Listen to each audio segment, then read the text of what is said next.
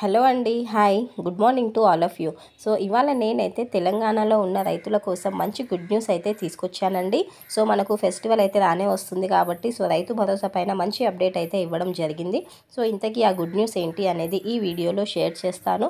So ఎక్కడ కూడా skip చేయకుండా చూడండి. సో దట్ మీకైతే క్లారిటీగా అర్థమవుతుంది. అండ్ బిఫోర్ దట్ నా వీడియోని ఫస్ట్ టైం చూస్తున్న వాళ్ళు ఉంటే ప్లీజ్ అండి లైక్ చేసి సబ్స్క్రైబ్ చేసుకోండి. సో దట్ ఎలాంటి అప్డేట్స్ ఉన్నా కూడా మీకైతే నోటిఫికేషన్ వస్తూ ఉంటుంది. ఇంకా లేట్ చేయకుండా టాపిక్లోకి అయితే వెళ్ళిపోదాం. సో మన తెలంగాణలో కాంగ్రెస్ గవర్నమెంట్ వచ్చిన తర్వాత వాళ్ళు ఇచ్చిన హామీలను బట్టి అయితే ఒక్కొక్కటిగా అమలు చేసుకుంటూ వస్తున్నారు కదా అండి. సో ఉచిత గ్యాస్ కనెక్షన్ కానివ్వండి అంతేకాకుండా విద్యుత్ కానివ్వండి సో రుణమాఫీ ఇవన్నీ కూడా ఒక్కొక్కటిగా అమలు చేసుకుంటూ వస్తున్నారు. ఉచిత బస్సు ప్రయాణం ఇవన్నీ కూడా అయితే అమలు అవుతూ వస్తున్నాయి. సో ఇందులో భాగంగానే రైతుల గురించి ఆలోచించి రీసెంట్గానే మనకు రుణమాఫీ కూడా చేయడం అయితే జరిగింది కదా అండి. సో ఇది కూడా విడతల వారీగా అయితే చేయడం జరిగింది. రెండు లక్షల వరకు కాకపోతే కొంతమందికి రెండు లక్షల వరకు రుణమాఫీ అయితే అవ్వలేదు అని చాలామంది రైతులు అయితే ఆందోళన చెందుతున్నారు. బట్ దీని గురించి కూడా మనకు గుడ్ న్యూస్ అయితే ఇవ్వడం జరిగిందండి. సో ఎవరికైతే రుణమాఫీ అవ్వలేదో సో వాళ్ళందరి సమస్యలన్నీ పరిష్కరించి ఎవరైతే ఎలిజిబిలిటీ ఉన్నారో సో వాళ్ళందరికీ కూడా రుణమాఫీ అయ్యేటట్టు చూస్తామని ప్రభుత్వం అయితే నిర్ణయించినట్టు సమాచారం అండి. అంతేకాకుండా మన రైతు భరోసా గురించి కూడా మంచి అప్డేట్ అయితే ఇవ్వడం జరిగిందండి. సో మనకు కాంగ్రెస్ గవర్నమెంట్ వచ్చిన తర్వాత ఇప్పటి వరకు అయితే రైతు భరోసా అమలు అయితే కాలేదు. సో దీనికి సంబంధించిన విధి విధానాలను అయితే రూపొందించడం జరిగింది.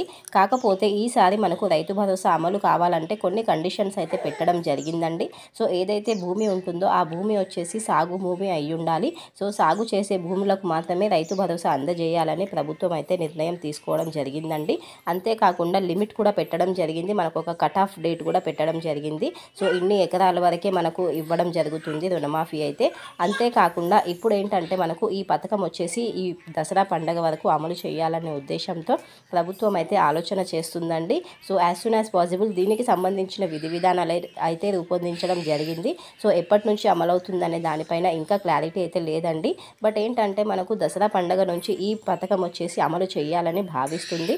So as soon as possible అయితే ఈ పథకం మనకు అమలవుతుంది. సో ఎలిజిబిలిటీ ఉన్న ప్రతి ఒక్క రైతులకైతే ఈ అకౌంట్లో డబ్బులు అయితే పడతాయంటే వాళ్ళకు.